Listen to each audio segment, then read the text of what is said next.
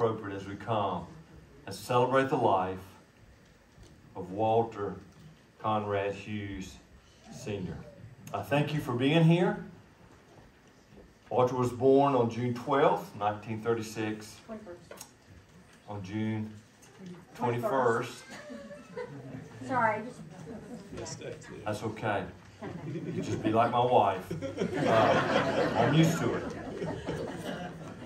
Uh, my dyslexia coming in. So, June 21st, 1936. Went to be with the Lord April 16th, 2023.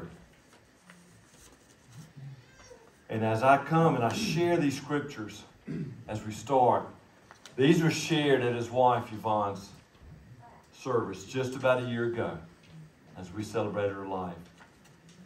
And so as I read Ruth, chapter 1, verses 16 and 17, this is chosen because really Walter and Yvonne were inseparable. Rarely were they apart, always together.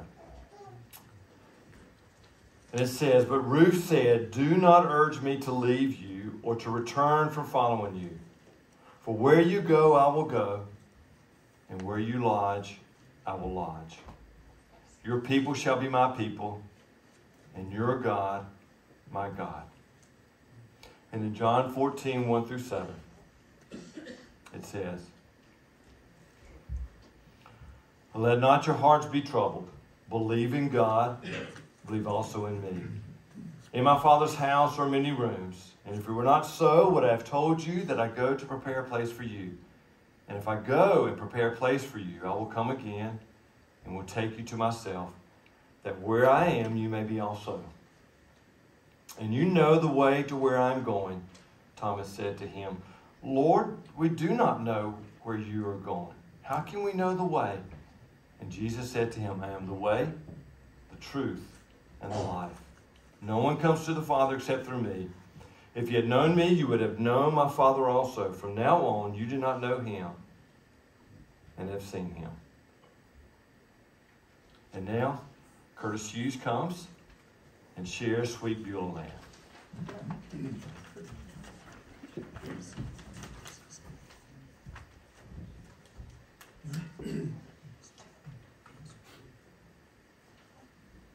Good to see each one of you here today, and thank y'all for being here for our brother, for our daddy, and everything else. So I want to sing a song. The song I want to sing is called "It's True." Hope you listen to words of the song.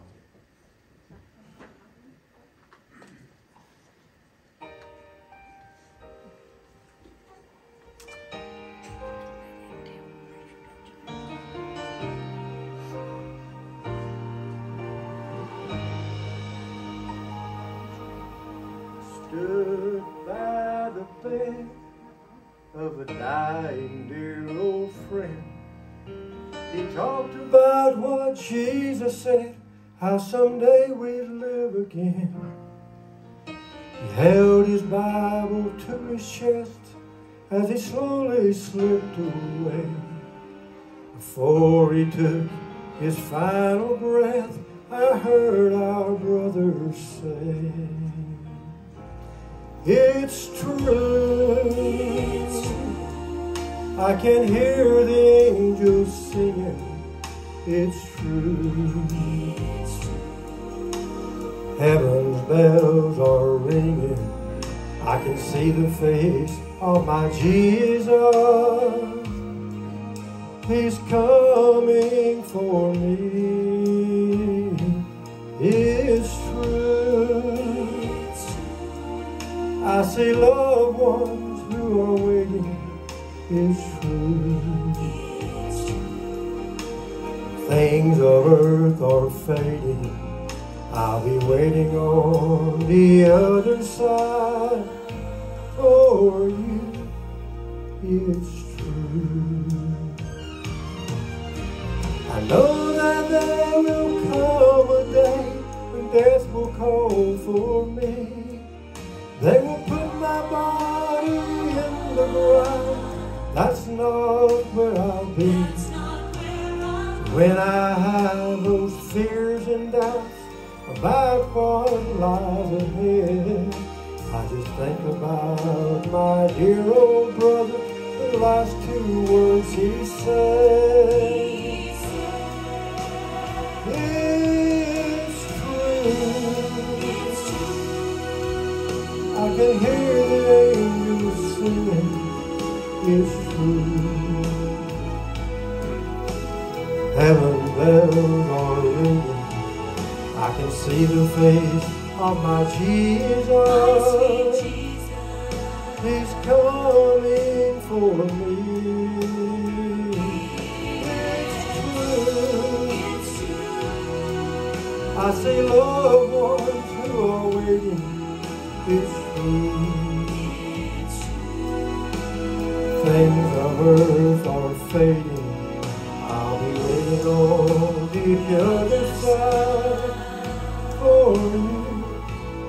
It's true. Friends and loved ones, you believe Jesus Christ was born of a virgin. He suffered under Pontius Pilate, was crucified, dead, and buried. The third day he arose from the dead.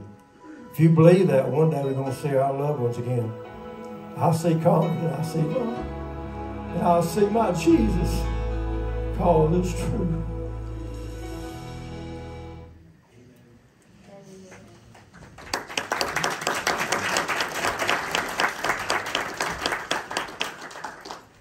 All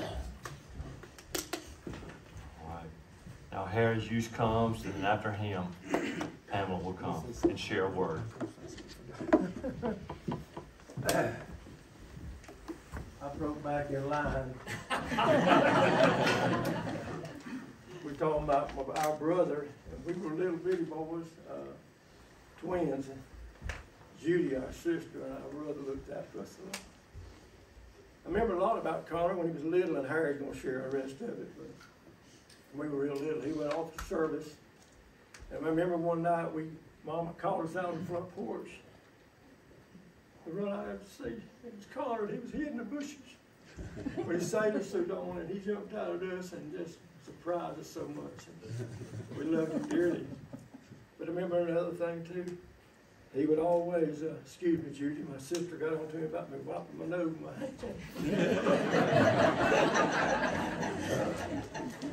But I remember he sent us a record home, the record player, Mama would put it in there and play it for us. And it was the shrimp boats are coming, and me and Harry sat there on the floor, we'd try to sing it, we'd dance that little song. Then right after the end of it, he said, you little boys be good, mom and daddy. We always tried to be.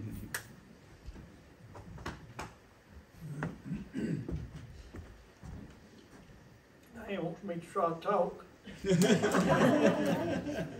Most of you folks in here, you Walter Hughes. But that wasn't who he was to us. When Conrad, 1936, Daddy was driving a bus to Trailways, and they lived in Newton, Georgia.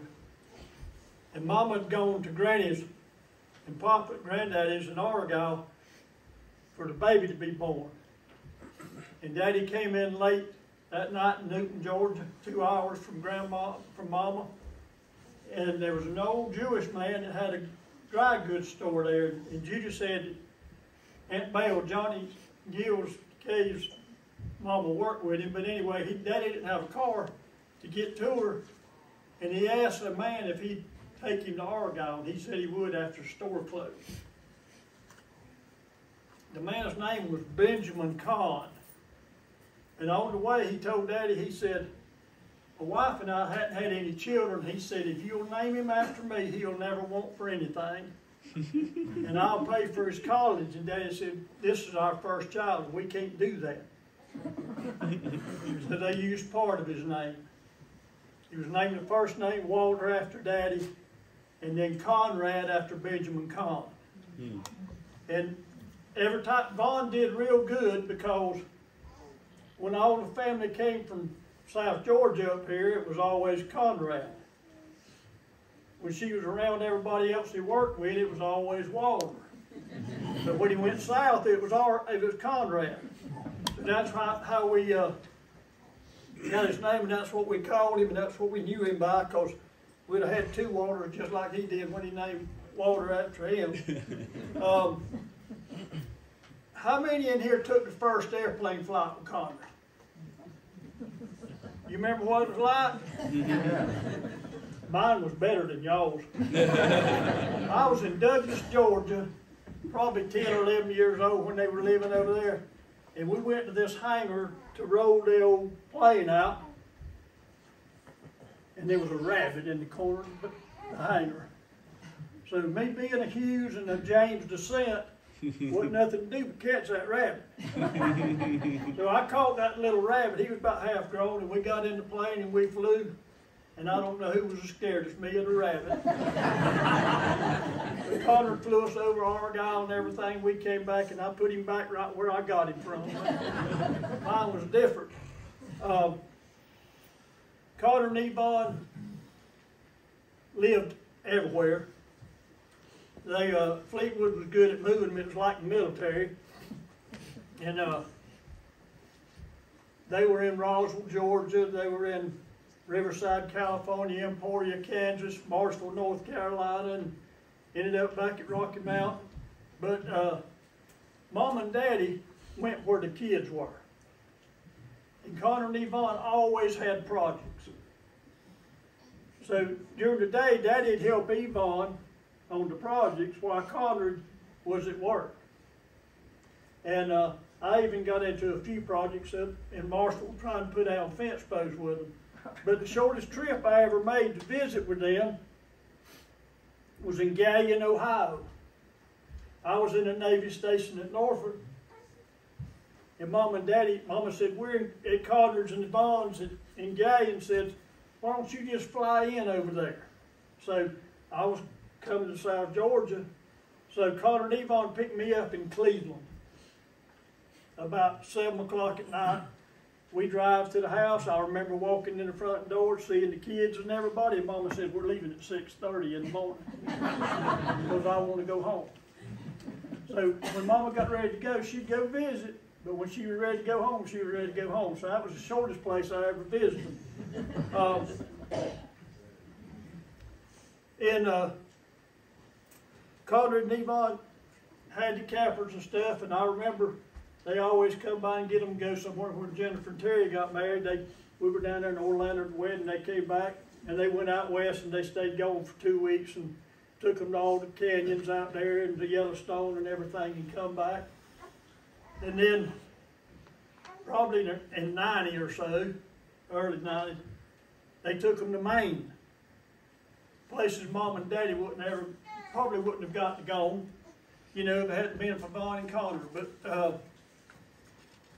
in Exodus 20, which is in, where the Ten Commandments, God gave Moses the Ten Commandments. The fifth commandment says, Honor thy father and mother, that their days may be that thy days may be long on, on the land which the Lord thy God giveth thee. Connor and Yvonne was faithful. To Sadie and Mr. Barker down there and, and mom and daddy, they tried to take care of them when they could and do things. So Connor followed that fifth commandment.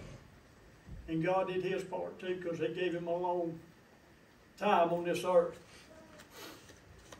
Uh, in Connor's obituary, you read about all the things he accomplished and everybody he tried to help, and he started new things for people and did all those things. Um, and Terry shared last night about a friend of his that he helped. And we'll never know, but God knows. And Jesus in Matthew 22, 37 and 40, there was a lawyer talking to him, and he asked Jesus, he said, What is the greatest commandment? And Jesus said unto him, That love the Lord thy God with all thy heart and with all thy soul and with all thy mind. This is the first and great commandment.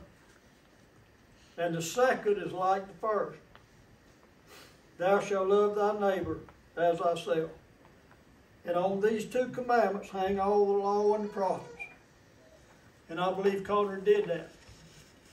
He Vaughn throughout their lives love thy neighbor as thyself. In Proverbs 22 and 6, it says, Train up a child in the way he should go, and when he's old, he won't depart from it. And I know that Yvonne and Conrad were trained up by their parents. And I got to say something about that bunch of barkers, okay? Sometimes when you marry into a family, you just get a sister-in-law or brother-in-law. We got to claim them too. We spent a many a day down there on the river. And since that, since Connor and Yvonne got married, they have not just been Conrad's in-laws, they have been our family. Amen. And we loved every one of them and still do. And uh, I know where my brother is. And I'm looking forward. I told somebody the other day, I know him and Vaughn got in. I just want to get across the fence.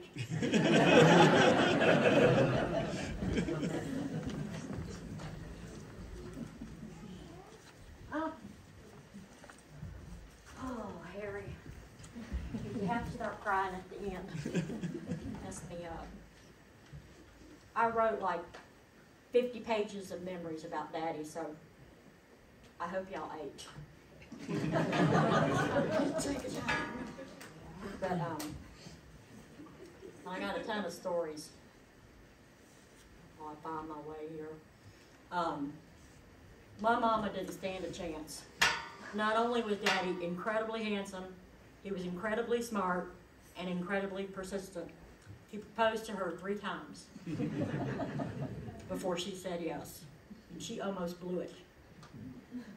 At her sister's wedding over Thanksgiving, daddy cooked beside her mama overnight the Thanksgiving dinner, and she fell in love with him. But when daddy and mama went to pick up the wedding cake, daddy took a curve too fast, and the cake kind of hit the side of the car. So she told her mama, I'm not gonna marry that man. And she said, mama, grandma said, you get your butt in there and marry that man. So thank you, grandma. And daddy loved to cook, so that's where he got it from. It's the one reason I'm alive. And, um, seriously, in more ways, because he fed me at the end there. I couldn't, I haven't eaten since he left me. So I don't know, oh God, like he did. Um, nobody gets more perfect than my dad. I'm sorry. Mama had to learn many of the lessons the hard way. First, she could never say anything was pretty.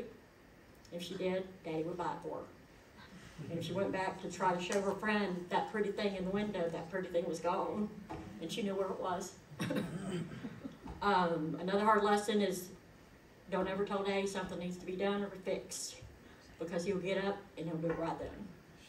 If you don't want it done right then, don't tell him anything, because he doesn't know anything about procrastination. he never put anything off, and the honeydew list didn't exist in our house. Um, when I was a little girl, Mama used to tell me, "She's gonna throw my daddy away," and I would come up with all these reasons why she had to keep him. And she thought that was funny. I think that was child abuse. but I came up. She would call them excuses, and I'd call them reasons. And if anybody was going to leave the house, it was going to be her. um, my daddy was unlike any man I've ever met anywhere.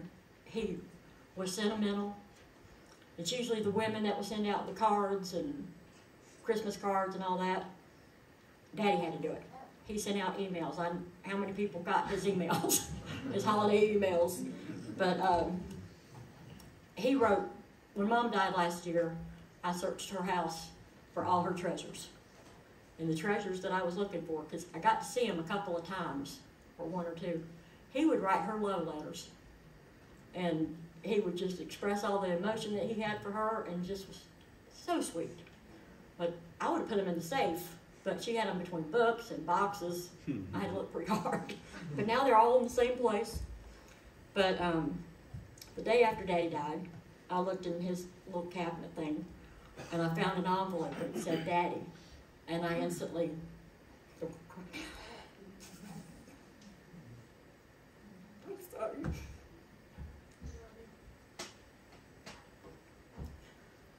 it was a letter I wrote when I was 20 something, where I told him how much I loved him and why I loved him.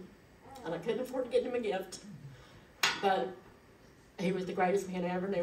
I was going to bring it and read it, but I'd cry worse.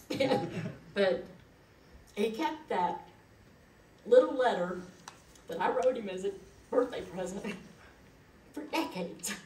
I can't think of anything else I gave him that he would point to, and he kept it. But he kept it where he saw it every day. Um, it just touches me.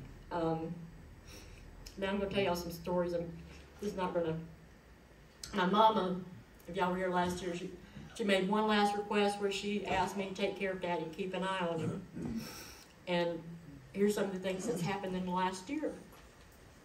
he called me on the phone. He said, Pamela, I need you up at the shed.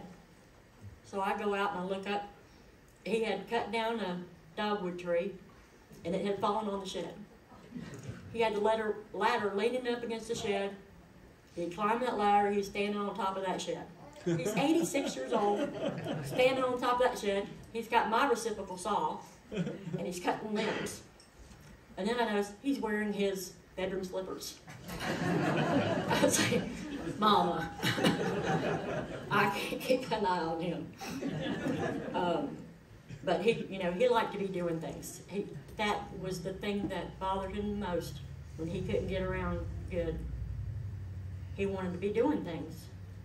But at least he loved to read. He could read two or three books a week. Just thank God they got him digitally, or we'd be at the library every day. But um, then there's the, and I have video to prove it. We were hauling his cooker on the back of the trailer, and we we had barbecued, and we thought the fire was out. We took off down the road. Daddy's, Daddy's driving, and he says, "There's a fire back there." I thought he meant it was there was fire in the smoker. Mm, no, we had cart of wood, and a spark hit it, so that cart of wood was on fire.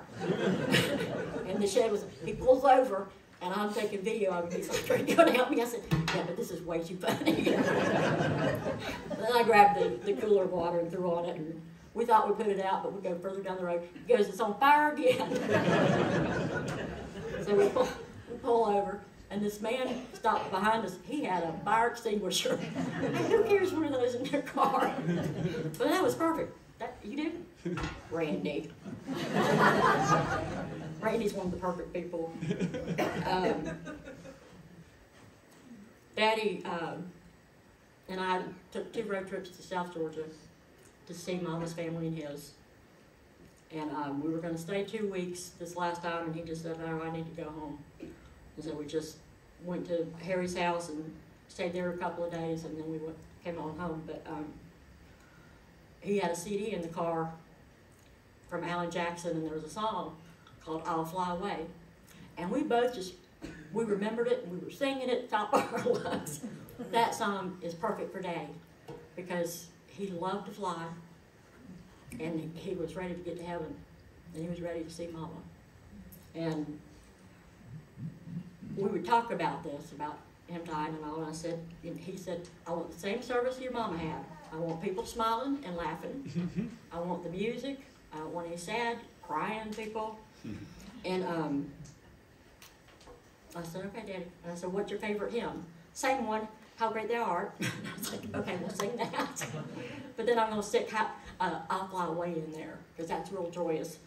Um, the only complaint I have about Daddy is that the last day, where's Johnny? As he's leaving Johnny, we had a great Saturday and a Friday. Friday, he took a four generational photo with Missy, Mackenzie, Walter, and him. And then I found a picture of Papa, Walter, Daddy, and Missy when Missy was a baby. I was like, how perfect was that? And then Saturday, he got to see all four grandchildren, great grandchildren. And we're sitting at the dinner table, he starts to cry. And Missy or Carrie went over there and hugged him. I was like, what's going on? I was sitting right next to him. I didn't see he was crying. So as we're driving home, I said, Daddy, why'd you start to cry? He goes, I'm a blessed man and have lived a blessed life. Amen. And he just loved his family, loved God, loved my mama, 62 years and 139 days. But he's continued to love her all year long. We missed her horribly, but he would hug me every day. And I'm gonna miss that. I miss him cooking for me. But, um, he did ask Johnny, as he's walking out the door, he goes, Johnny, we need to fix that dock. Are you gonna come help me this summer? And Johnny said, yes, sir, as soon as my, cause he's got knee surgery, as soon as my knee heals up, that dock is tore apart. and it's left for me to do. So I might need some help. Jason, where's Jason? Raise your hand, Jason. Jason Turner. he does docks. Daddy even asked him about that, so maybe I have to do that. But um, anyway, I don't want to keep you for a couple of years to tell you all the wonderful things about my father, but um, I will tell you one last story. Because he would keep an eye on his children. If you flew, you had to give him your itinerary. He would follow you on FlightAware. And then where your plane took off, and if it was late or landing, and he had to know where you were. He'd use Google Earth to spy on you. Jessica's over there in Ireland, and he's like looking at where she's living and where she's working. I was like, it's not live, it's not real time. I just want to make sure it was a good place. But back in the days when car phones were actually mounted in the car, and the only thing they did was take and make phone calls. That's all it did. It didn't have GPS or anything. I was sat at home, went up 95, turned left on I-26 and started, and it was middle of night because I'm a night out. No lights anywhere. I run out of gas. The little light for the gas thing burned out right then. So I'm sitting in the middle of nowhere, can't see any lights anywhere, just the stars in the heavens, that's it. And I called Daddy on the phone. I said, what am I gonna do? I can't call 911 because I don't know where I'm at. And he said, call 911 and tell them you're on I-26 and you're headed west, and they will find you. So I did. And eventually the, the cop showed up. I got in the car with him to go to the gas station. Dispatcher gets on the phone. Do you have Pamela Hughes in the car with you? I'm like, yeah. He said, yeah. How did Daddy find me when I didn't know where I was? But he found the cop car going down the road that I was in. I mean, we had no GPS, no idea how long I'd been on I-26, but he could find me wherever I was, and he was always there for me. And he was always there for all of us. And he loved his family more than I could even tell you. But he loved Mama and he loved the Lord, and that's where he's gone. He didn't want anybody crying, so let's stop crying and sing How Great Thou Art. Y'all ready? Mm-hmm. All right. Master.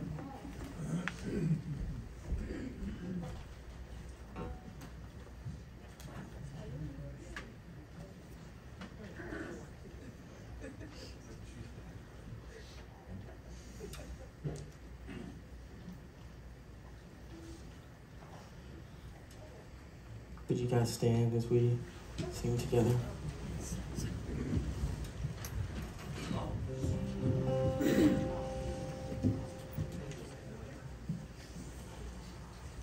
Oh Lord, my God, when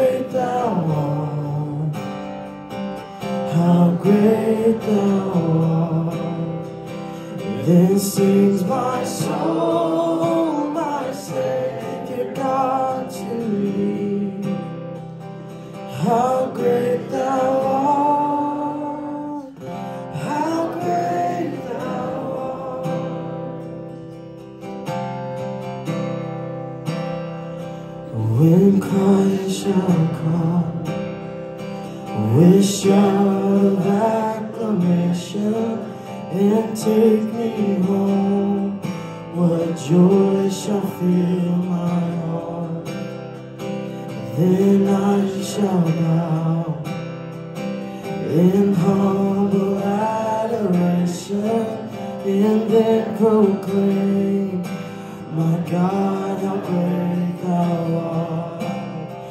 And then sings my soul, my Savior to thee.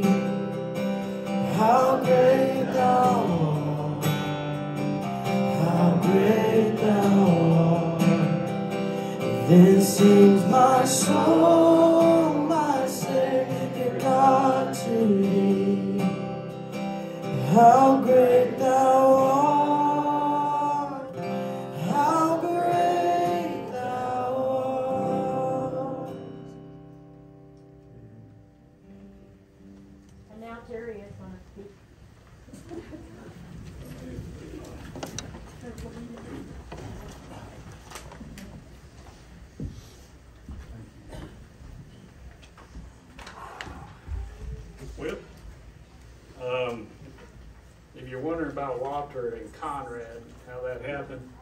the Navy, when he joined the Navy, they asked him what his name was. He said he was Conrad Hughes, and they looked at his paperwork and said, "You're Walter Hughes." And so he was Walter Hughes from that day forward. So I just gonna set that up and let you know that. Um, when we were planning this, my job was the Fleetwood family, and that's what you were. But I'm also going to take a moment and give you a little Walter Hughes history. I got bullet puts, points up here, and I know this stuff by heart, and I was going to do it by um, just looking at the bullet points and doing it off the cuff. But Sydney said y'all didn't have that much time. And from Scripture, I think this is probably most- most appropriate for what I'm going to share with you today. It's from Mark 9:35. And sitting down, Jesus called the twelve and said to them, If anyone wants to be first, he shall be last of all and servant of all. I want to tell you about the Walter Hughes I knew. In 1967, we lived in Douglas, Georgia, and Dad was a loan officer at the Douglas Savings and Loans. One day, uh, while he was working the counter, a man came in and he handed Daddy a check to deposit. When Dad inspected that check, he looked up at the man and said, How can I make this kind of money? And the man had him a business card. And in 1968, he went to work for Fleetwood. That same year, Fleetwood Homes of Rock, in Rocky Mount, or Fleetwood Homes of Virginia, opened. In the winter of 1969-70, Dad was promoted to sales manager of Westmoreland, Tennessee. We went all the way to Westmoreland, Tennessee. We were inspecting the new home. We were waiting for our furniture to arrive, and Dad got news that the roof had collapsed. So Fleetwood sent him on to Guyton, Ohio, and rerouted our furniture so we never moved in in Westmoreland, Tennessee. We spent two years in Guyton, Ohio, and my mom was not fond of the cold. Um, that after two years of trying to get them Fleetwood to move him back, they failed to do so. He went to work for Boise Cascade. Uh, 19 72, he went to their um, went to one of their factories and got quickly promoted to uh, the corporate headquarters. In 1972, we moved twice. In 1973, Fleetwood called again, and Dad became the division sales manager in Riverside, California. In 1974, Gerald Ford became the first president until Joe Biden to never be elected to office. He, we had an oil embargo we had hyperinflation of 12.3%, and the stock market crashed.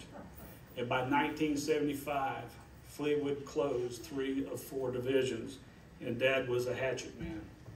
He was a man that had to go tell everyone that they no longer had jobs. In 1976, we moved to Marshall, North Carolina, where Dad was a sales manager. He brought a farm, and my Uncle Harry and I fenced in 40 acres. Hey, I was there. I had never seen so many rocks until I moved to Rocky Mount, Virginia. We raised chickens, ducks, and had a two acre fish pond. and a wonderful dog named Doc. And I rode my motorcycle constantly. In 1978, we made our 12th move. We moved to Emporia, Kansas, and Dad was the general manager of a struggling modular factory. It was there that, where Dad's production manager introduced the Piecework Pay program.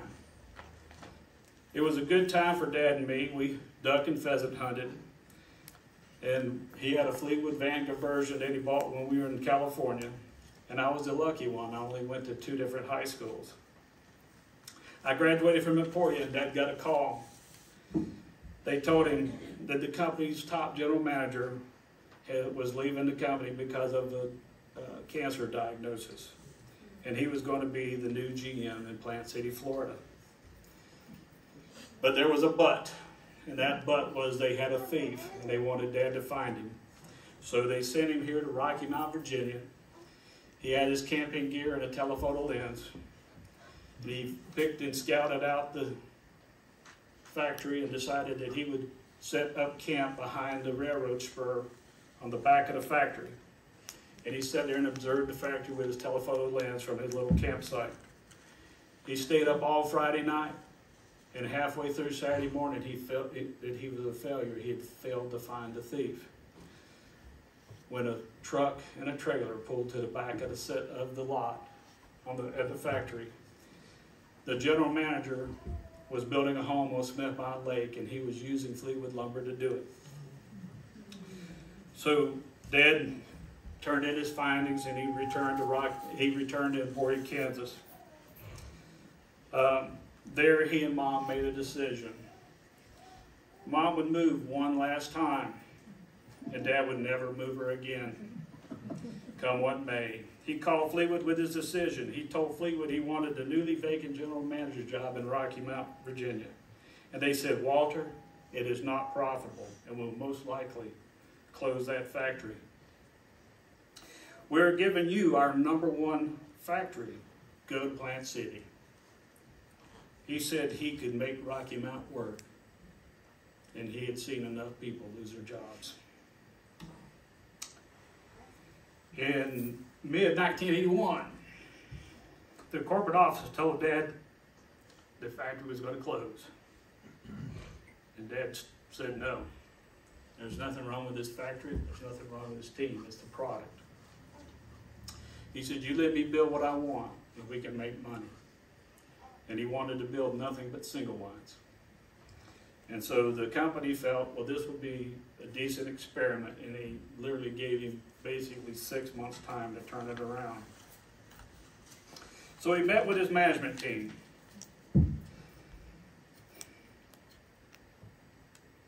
And I'll tell you something you won't believe about Fleetwood. They wouldn't allow you to have a computer in the factory. So he bought a Macintosh with a line printer and he stuck it in a broom closet and he told the secretary, if anybody from corporate shows up, you lock that computer up. that was her job. But he sat at that computer and using variable costs and fixed costs, and Tom, I know you know what I'm talking about. He figured out what it would take to build, able to build nine homes a day where they can make some money. So he went to the sales team, and Bob Atkins is part of that team, and he told him, he said, look, we need to get to nine homes a day. And like all sales teams, which I'm a member of, they started complaining about the price. And Dad told him, well, I'm going to price the homes as if we were already building nine homes a day. Now can you do it? And they got to work. And I, the next meeting was with the plant personnel. The clearest, most obstructed view that you could have in the factory is in the floor department. He stood on the floor of a unit and he called this meeting, and they call this a floor meeting to this day. Dad hated the word employee. He had everyone referred to as an associate. He had a floor meeting where he explained a piecework pay program and told them that if they could build more houses in the same time, that they could make real good bonus money. And he asked them, he said, Can we do it? And they replied, Yes, we can. And they did. In 1982, they had a new problem. He met with his management team and he informed them that they could make a million dollars in a quarter It had never been done at a Fleetwood factory. And what I'm about to tell you is kind of stupid too, but they penalized you if you made more than 800,000. So it was a decision for the team. He met with the team and he told them what the problem was. And they said, let's do it. And they became the first factory in Fleetwood history to make a million dollars in a quarter. And they did it on a regular basis. There are industry legends that came out of that group, people like Sonny Cooper, Bob Atkins, Steve Collins, and Jimmy Holmes, and Dan Bryant, just to name a few. There are too many to mention here.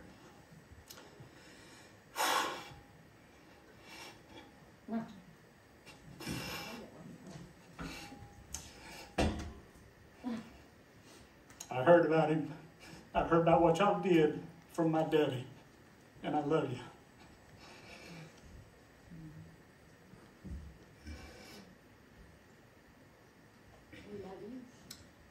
My daddy taught me many things. He said hard work pays off.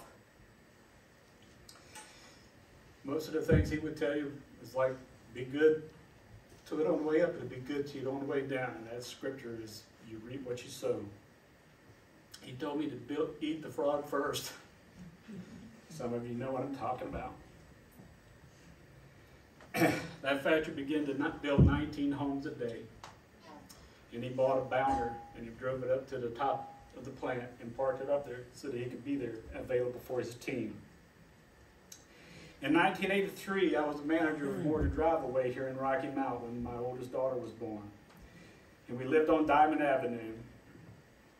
And Dad wanted to see his grandbaby, so he loaded his riding lawnmower up in my mom's truck. Came over to my house Saturday morning. He was mowing my grass at 6:30 a.m. and I got up and I was like, "What's going on?" I went out and there's my dad mowing, and he goes, "Is she awake?" I said, "Yeah, she has to be awake. You drove by her window six times." He said, "Yeah, well, climb on, take over. I'm gonna go see my baby." And that's what he did. He went in to see Sydney. Dad and mom came to fence the backyard when we moved to Indiana. Ten-month-old Sydney banged her head on the fence post in protest. Us Hugheses like our freedom. Sydney loved their motorhome, and when she went missing, we found her trying to open the front door. Incidentally, I couldn't work for Fleetwood while Dad was there.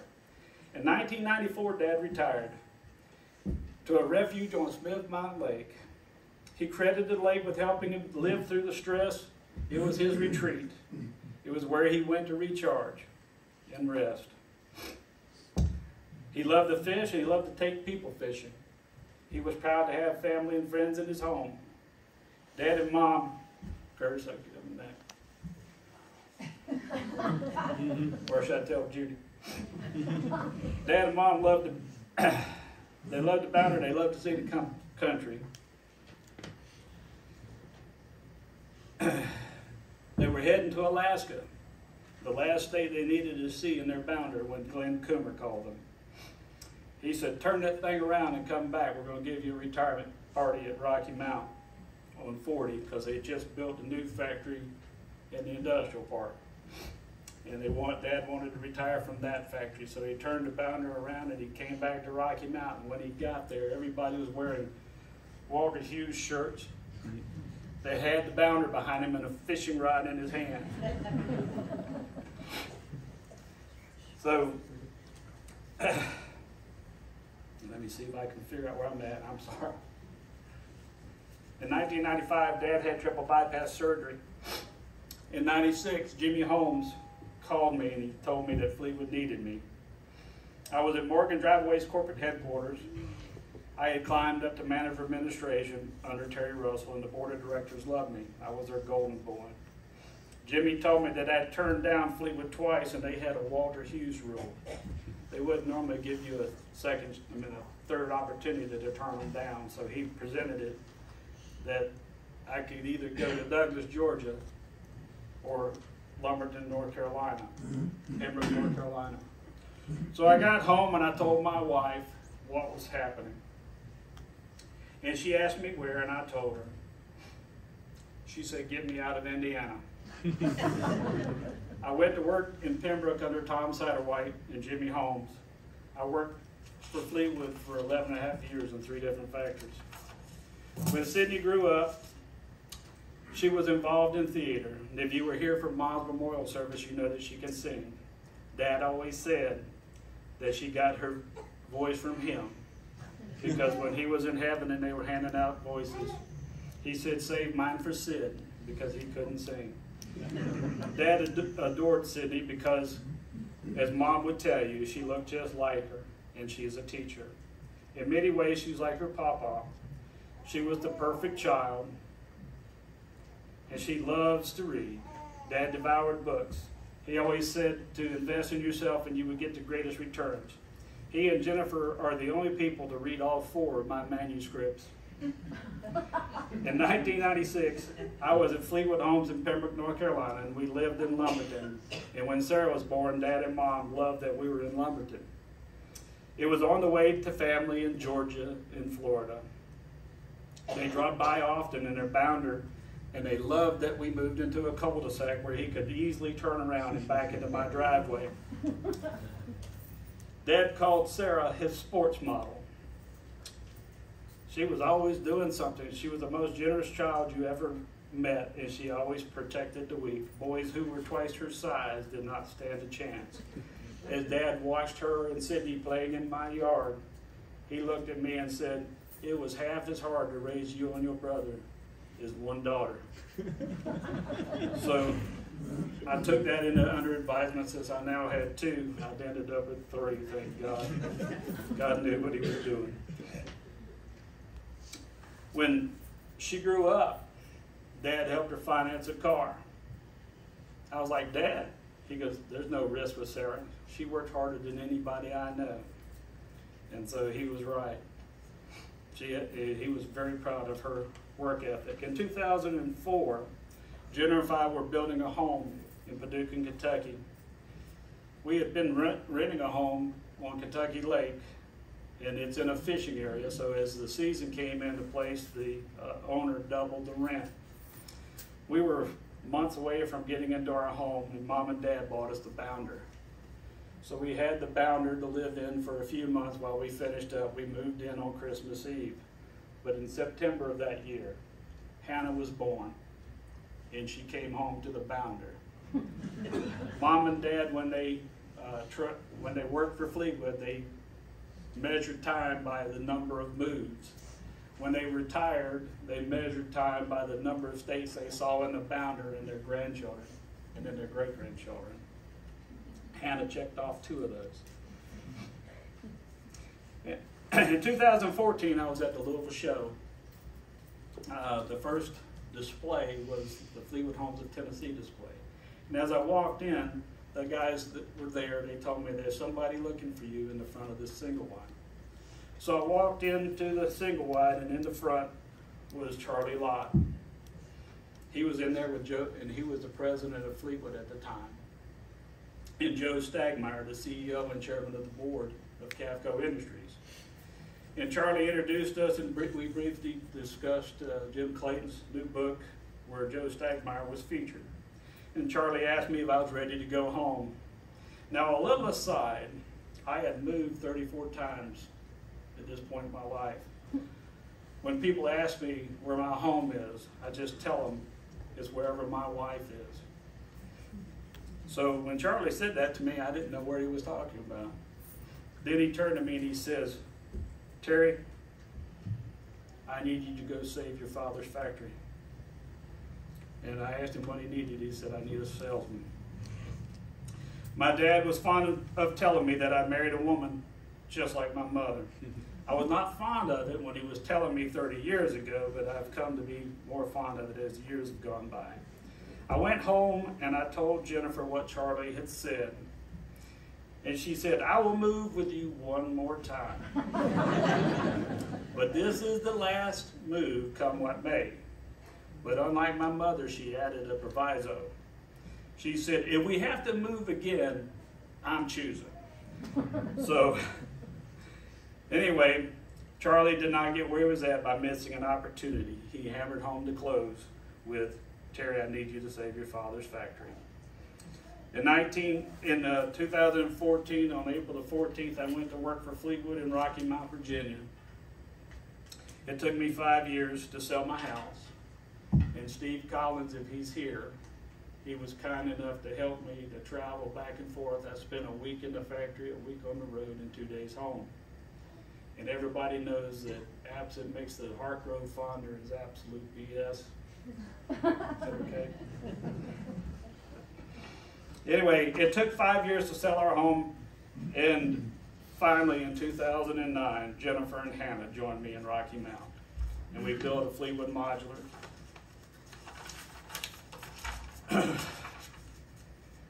and Jennifer made it a refuge for mom and dad.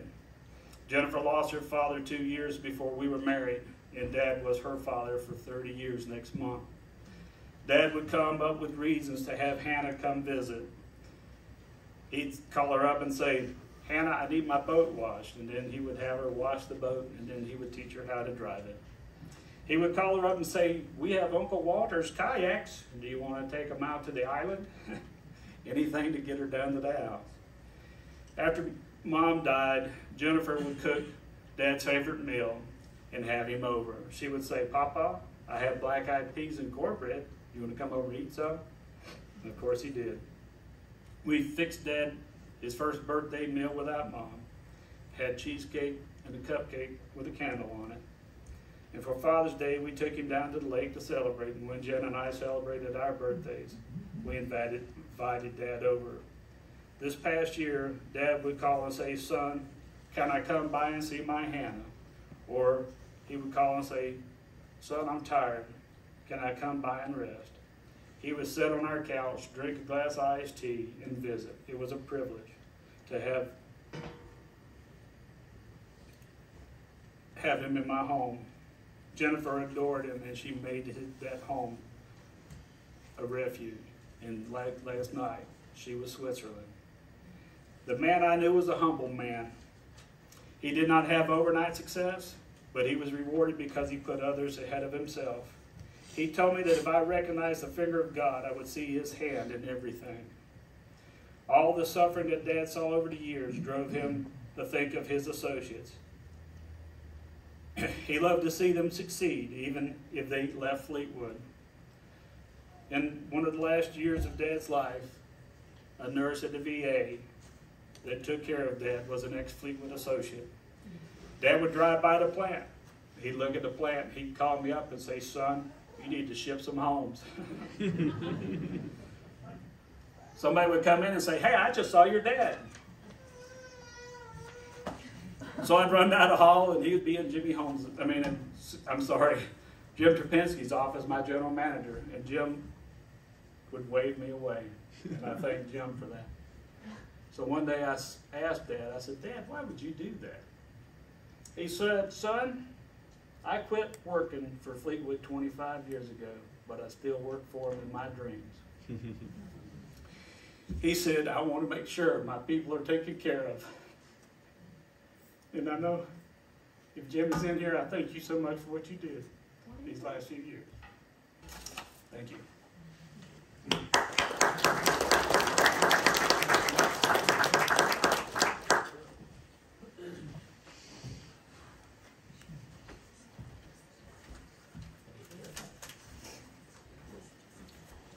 Hi, for those of you that don't know me, um, I'm Jessica. I'm one of the grandchildren.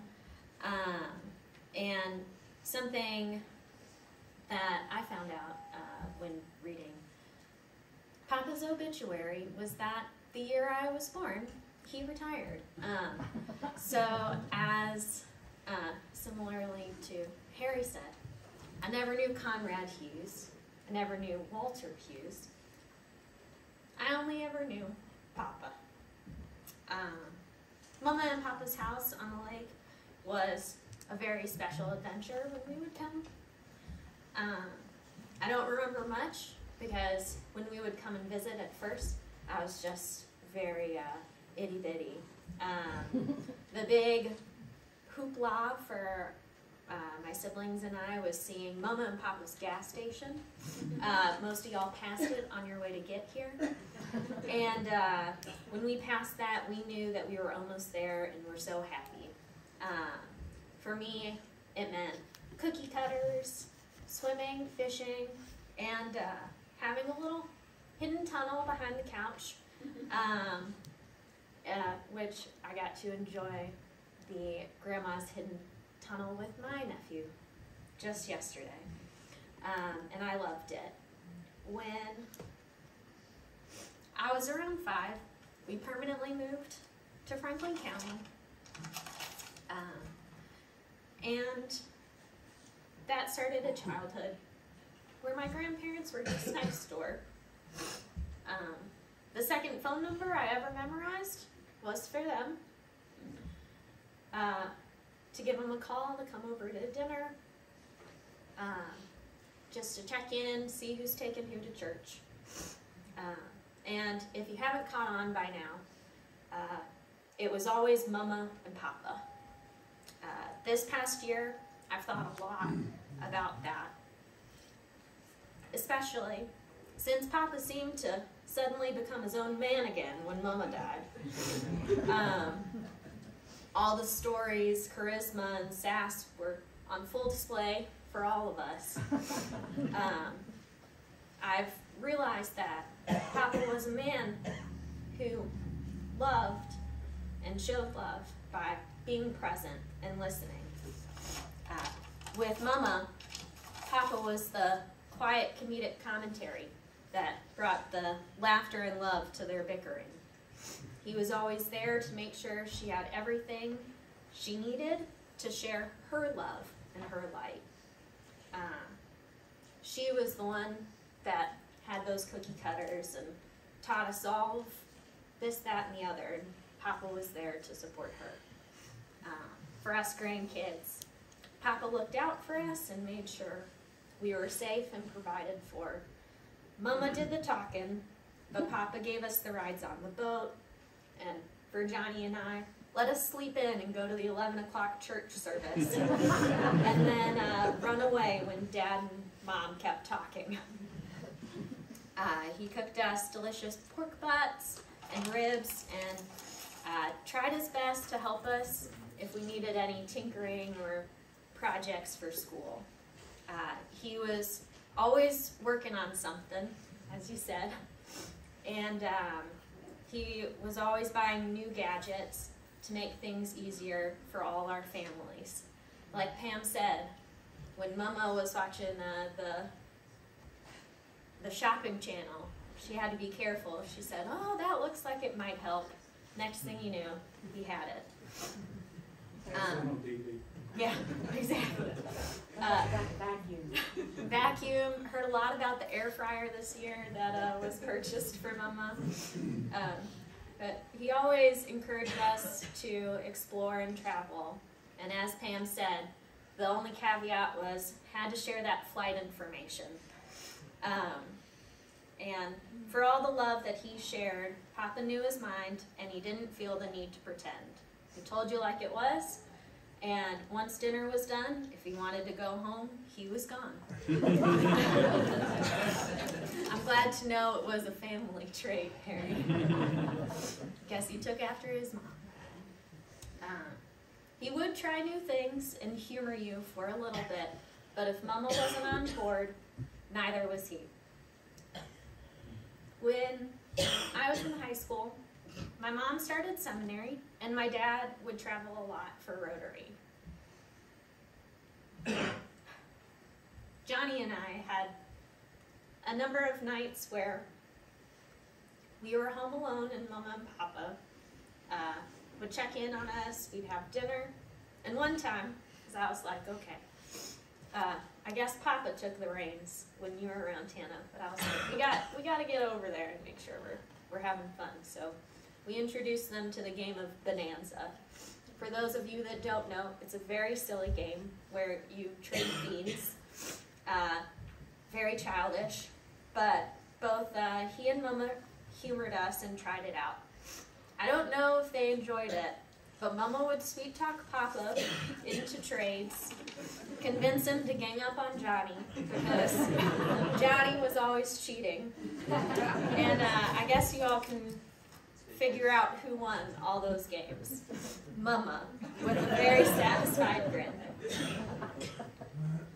I have lots of stories, and I take after my mama and will wander off, like wander off and have anecdotes just like her. But um, I really think this year was Papa's victory lap.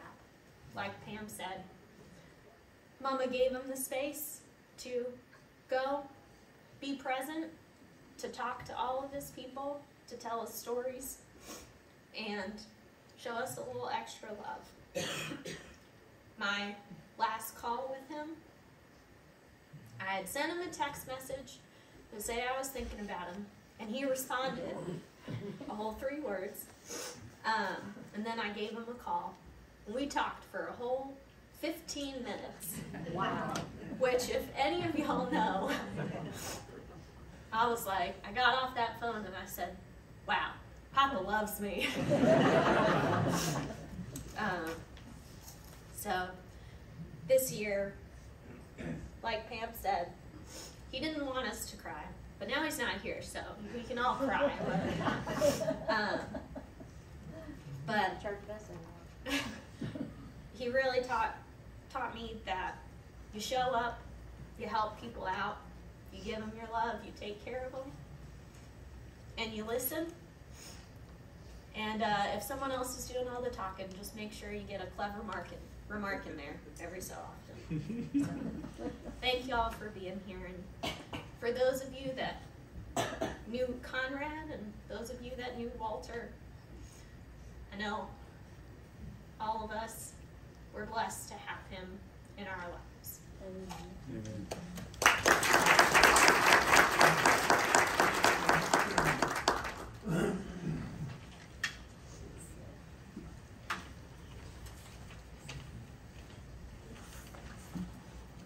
Would y'all stand as we sing this together?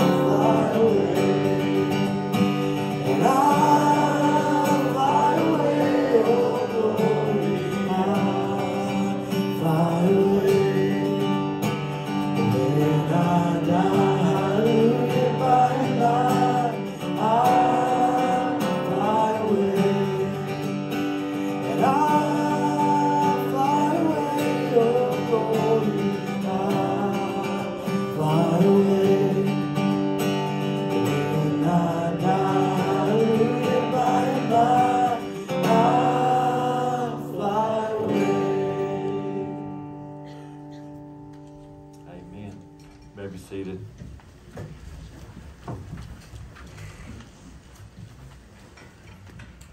So we have celebrated the life of Walter Conrad Hughes. And as a pastor, I have just a few words to say. Doesn't really mean short. but I will try to make it short because these stories have truly celebrated the life of Walter Hughes. He was very special to me. He and Yvonne, they were some of the first members here at Union Hall. And you remind me a lot of his dad, and even as I heard more stories, reminded me even more. And so I have to say, for Pamela and, and Terry for sharing, and for Jessica, uh, having lost my dad last month, uh, I knew what it takes to be able to share, but thank you for sharing. I can remember about three or four months ago, we were in Connect Group and we were talking about how I needed to get a ceiling fan installed in our kitchen. It was wired to it, but we never did pick out the fan. So he said, Well, let's just, we're going to do that. And Walter overheard me. He says, Okay, well, I can help you. I'll bring the ladder, I'll bring everything we need, and I'll get up there and I'll help you install it. And he had just gotten out of the hospital. Um, and because he, he was just right in there. I never saw him quit. Um, and I thanked him for that. And I said, Well, we're still trying to decide. But he was so willing to help, always ready to do up till the very end. You know, so often when you look at the sports world, there are those athletes that just keep trying to go. They may retire and then they come back, and they retire and then they come back. Continue to try to go as long as they can and be strong. And we all try to do that. But I believe Walter was so successful. And so, hearing the stories, when I was listening to the stories with his kids, the Lord brought me to a word that Paul shared to Timothy. In 2 Timothy chapter 4. Here it is, Paul writing. He had lived a long life. God used him in tremendous ways. And he finds himself now in a dungeon and writing these words to encourage his young pastor friend, Timothy. And it says, For I am already being poured out as a drink offering, and the time of my, my, my departure has come. I have fought the good fight. I have finished the race. I have kept the faith. Henceforth, there is laid up for me the crown of righteousness, which the Lord, the righteous judge, will award me on that day. And not only to me, but also to all who loved his appearing. And I want to just share a few things about what does it take to finish strong? I believe because of his relationship to Jesus Christ, a person who finishes strong is confident in the face of death. See, Paul used that term departure as a picture of death. It can be an army term, meaning to break down the tents, leave camp. And Paul saw himself as a man on a journey, heading for that next stop. And I think Walter saw that too. He began that journey when he left a farm, became a part of the Navy, see the world. Didn't know he was going to have his name changed, but it stuck. But he also, Paul also described death as at home with the Lord, gain with Christ, falling asleep in Him. You know, death is a reality that must be looked squarely in the eye. We're all going to face it. But see, only Jesus Christ has that victory, that key to victory over death. We celebrated this truth just a few weeks ago on Easter. He conquered death when he rose from the grave 2,000 years ago. Because Jesus Christ lives, he offers to everyone the opportunity to overcome death. You see, we know in that verse that everyone knows, for the most part, or have heard or seen signs held, John 3.16. For God so loved the world that he gave his only Son, that whoever believes in him should not perish but have eternal life. We know God loves us. We are his creation. He loves us so much that he gave his Son. And out of that gift of his Son, we have the opportunity to believe that he lived, that he died, and that he rose again. And if we believe, then we receive that forgiveness and that gift of eternal life. You see, Walter found that. And he understood what that meant. What that new life was all about, having that relationship with the Lord. Because he saw that with his family, his parents, all of his kinfolk. But in finishing strong, there's also having a concentrated life. A concentrated life to the Lordship of Jesus Christ results in a focused, centered life. Paul's looking here in the rearview mirror in verse 7 where he says, I have fought the good fight. That word fight comes from a word which we describe the word agency. It's a picture of an athlete in a contact sport, leaving it all on the field, giving everything he has. It's his total effort. And I, for the time I knew him, Walter gave everything. The stories that I heard, he never cut corners. There were no shortcuts, nothing halfway. He gave everything. And I and I heard how he wanted at Fleetwood to build safe and great homes.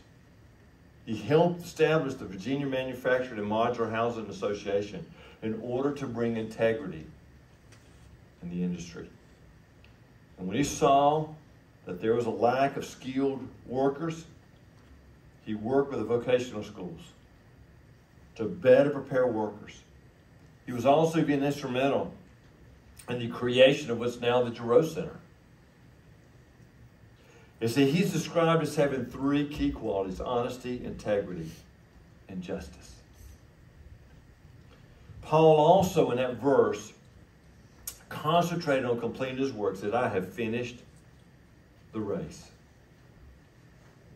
Paul always kept his objectives in front of him. In Acts 20 24, he said, But I do not account my life of any value nor as precious to myself, if only I may finish my course in the ministry that I received from the Lord Jesus Christ to testify to the gospel of the grace of God. He gave really all the glory to the Lord. He really didn't seek it, though it was heaped on him. But he always turned it to the Lord. He started well and he finished well. I believe even in his retirement, he continued to make this community better. And finishing strong also means playing by the rules. Paul said, I have kept the faith. Athletes in the Greek Olympic Games, they took an oath to compete with honesty and integrity. Keeping, keep the faith is keeping faithful to one's commitment to Christ. The person who finishes strong is the person who keeps the faith. You know, now modern culture knows little of this kind of life. People, churches, denominations tend to change to suit what is current with the culture so they can relate. But one thing I learned about Walter, especially at this time in our men's Bible study, he knew the truth from God's Word, and he didn't waver from it. He knew what was taking place in the culture, and he firmly held to those truths and did not waver. Which also, and that was also true to where he became a part of this church. You probably know the story. I shared it last year. That Yvonne, having been in Methodist churches throughout their life together, she wanted to get back to her Baptist roots. And she said, if this little church here, that they're going to be opening, and if it's a Baptist church, we're going to be there. As I already said, Walter said yes. And so when he came, he became a part of this church. But he knew as part of a Baptist that we believed in baptism by immersion. Not that it saves you, but it's symbolic of our faith, following the example of Jesus Christ. When he saw that in Scripture and knew that, he willingly submitted to be baptized. And what a great celebration that was when he did. I think I've never seen a greater smile in Yvonne's face than that time. But they were so active and loved. But also in being a strong finisher, you contemplate the future. And that's what Paul did, verse 8, where he said, Henceforth there's laid up for me the crown of righteousness, which the Lord, the righteous judge, will award to me on that day. Not only to me, but also to all who loved his appearing. That crown which Paul writes about really is that laurel of leaves formed into a wreath and presented to the victor in athletic events. Paul affirms that that day, the day of the Lord's return, at that judgment seat of Christ, he will receive this reward. It's a reward the Lord will present not only to Paul, but to all who loved his appearing, to all those who believe. You know, finishing is a rare, valuable commodity. Completing the task. I can walk in my basement and I can see tasks started, but incomplete. But for Walter, he sought to complete the task, staying until that final whistle, never walking away, never pulling back, never drifting, never waffling, faithful to the end. I mean, when I saw him in the hospital this last time, just really a few weeks ago before Easter, we were talking about having a press. As I'm praying that you're going to be able to be here on Easter. And he was. He didn't want to miss it. You see, the world is looking for men and women who finished strong. Today, as we admire and celebrate Walter and his faith, I believe it's time too to examine our own journey in life. Is there anything in our life, our attitude, that maybe we need to change or make?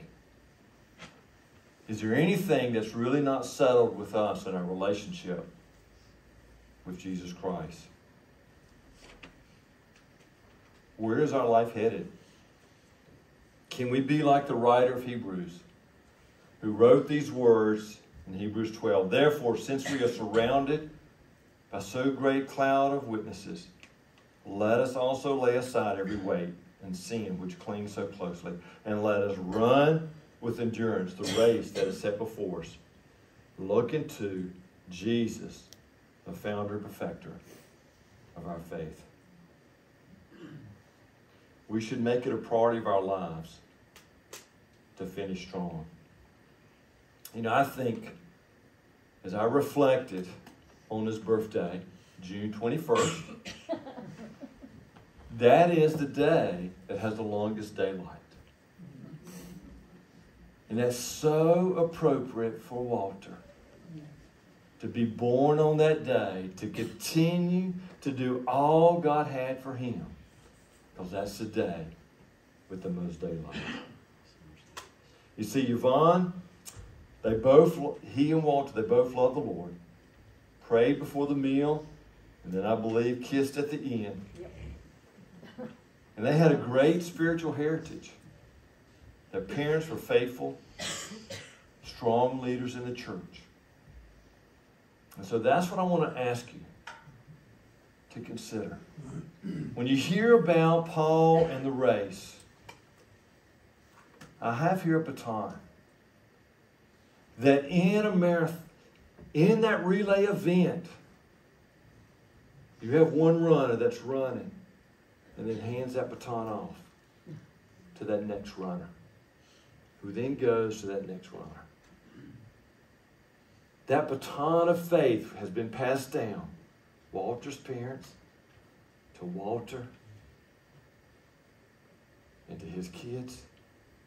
And then I want to say also to the grandkids and great king grandkids, are you willing to pick up this baton and continue that life of faith in Jesus Christ. To be used what God has called you to be. Because I believe God has great things in store for this Hughes family. He has already used you in so many ways and blessed you in so many ways. And I pray, would you continue that spiritual heritage, teaching your children about the Lord and having a relationship with Him. Walter's going to come and have prayer. And then we will have presentation of the flag. Well, before I pray, I have a few words. um, I was closer to mom growing up, and I got to know dad when I became a father. And here's my go to for wisdom and knowledge in, in anything. Uh, King Solomon in uh, 1 Kings asked God for an understanding heart, which really means wisdom. And we call it spiritual wisdom because dad knew things of this world, but he also knew the wisdom that, that came from, from the Lord. And dad shared that wisdom with me because I asked him, I said, Dad, I've never been a father before. How, how do I become a good father? And he was an ace mechanic from his days in, the Navy. And so if you ever had anything that didn't run, Dad could fix it. And he taught me about plumbing because the kids loved the upstairs bathroom, and it was right above the uh, front door. And there was plastic knobs that went on the uh, faucets for that tub, and it would leak and come down into the front door. And so I learned how to plumb with Dad on the phone. and the neighbor next door giving me the tools to uh, fix the plumbing, and he always taught me uh, buy two handle because the one will break and you'll have one to fix it as soon as it happens. So I began to understand him better, uh, being in, in, in his shoes. And we came next door in 99 so that they had moved all over uh, America, but now they could have their grandchildren next door. And it meant all the world. And I joined Rotary to spend time with Dad. I said, well, this is a chance I can just have a little bit of time driving to and from Rocky Mount. And I really thought I was having breakfast. And what I learned is those conversations to and from were so special. And I realized that Rotary is something that impacted Rocky Mount, but it impacts the world. And he encouraged me to start my journey uh, with a water purifier at a district conference. And so it was one of those things that Dad fell in, in love with Fleetwood and Rocky Mount, but he fell in love with the people of Rocky Mount. And you meant so much to him. And so he gave his heart to this community. He wanted people to be employed. He wanted kids to know how to have a vocation he wanted uh, middle school kids to understand about STEM so that they had science and, and technology, that they may pursue those kind of careers. And he was proud of our kids for all that uh, they did to pursue science and engineering and so many creative things. So he wanted employee, he wanted associates for Fleetwood who were trained. And so that's why he spent so much of his effort with the public school system here, making sure that uh, the people had a education. And Dad had the gift of encouragement. And part of what he wanted was people to fall in love and have the family that he had. And so, so many people have come up to me and said, he celebrated my engagement in, in my marriage. And he was very active in church and uh, community. But what I want to tell you is his grandparents were faithful people, and his parents were faithful people. And uh, Papa, my Papa, served the people of Homerville and Argyle, Georgia. And so Dad followed in his shoes. And he served the people of Franklin County. And I was Walter Hughes' son when I moved to Franklin County, and I got involved. And so I was honored to be Walter Hughes' son because he was a great man. And after a while, he told me, Now I have become Walter Hughes' father. But he cared about not the outward appearance of somebody, he cared about the character of your heart and the person that, that you were. And so that specialness that dad had, he cheered on everyone. And I strive to live up to the example of my parents and my grandparents before me. And I'm hoping that I'm able to fill their, their shoes. And he's left a big hole here in Franklin County. And the Hughes name is well respected and loved because mom and dad were loved. And I see all of you here, and you have a special place in dad's heart because he, he loved you so. And I want to thank you for taking the time to come and honor him and listen to all the stories. And I'm the quiet one of the family. and so I give thanks that he set the example to love God and to love others. And I also give thanks to God that he was my father and I was his son. Let us pray.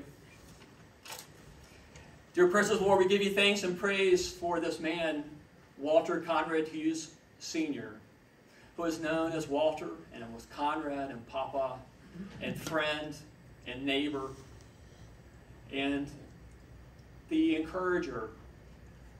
Uh, we give you thanks that mom and dad are united again. And dad is listening to all the stories that mama found out while she was uh, there without him. And so they've caught up, I hope. But dad, I'm sure, has found a quiet place uh, that he can get away and just kind of listen to the Lord. And we just thank you, Lord, for uh, taking him into your grace and knowing that he is with you and that he is so proud of each one of his children and grandchildren and great grandchildren. And we give you thanks for the family that he has made that is blood and the family that is made in Christ. We ask this in Christ's name. Amen.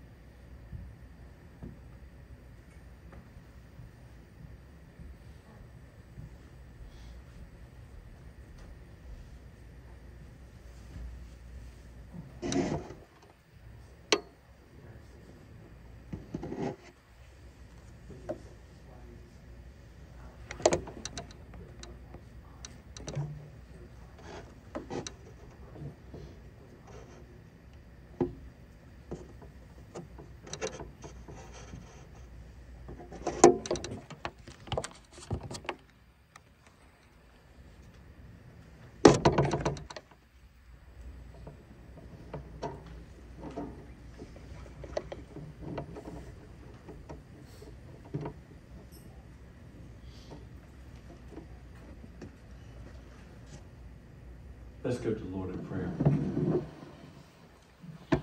Father, we have come and celebrated the life of your faithful servant, Walter Conrad Hughes, Sr., who loved you more than anything else, who loved his country and served his country, who loved this community and served this community, who greatly loved his family and did all that he can for his family. He lived a great life, a tremendous legacy. He was faithful to the end. So, Father, as we go, it is our prayer that we will cherish those memories of his love and his faithfulness. And may we honor those in our life as we seek to continue to be faithful servants for you.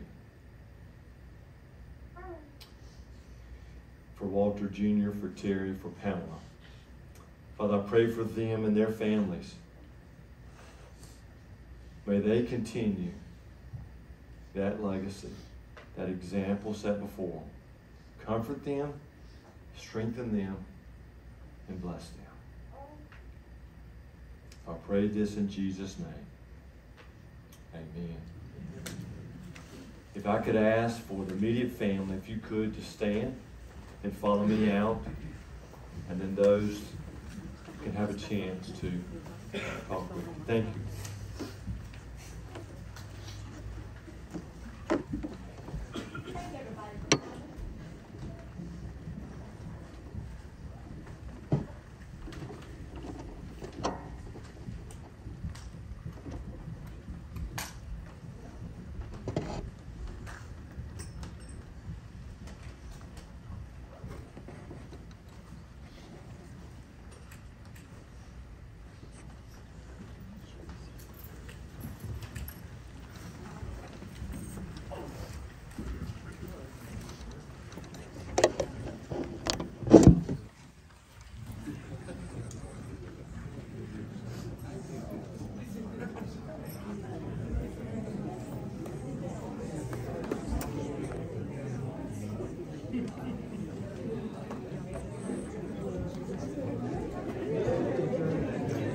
You think he's hearing well done by good and faithful service right about now? I could. And I think Christ is probably saying, well done by a good and faithful servant. Yeah. And Walter's saying, Uncle Connor's saying, where's Yvonne? Yeah.